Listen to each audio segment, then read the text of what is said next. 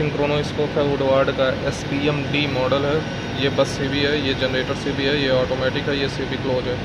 और साथ ही ये डिस्प्ले सिलेक्शन के लिए है डिजिट के लिए है, और ये क्लियर अगर कोई अलार्म इस पर आता है तब। ये जो है, ये हमारा भी जनरेटर सर्टिफिकेट ब्रेकर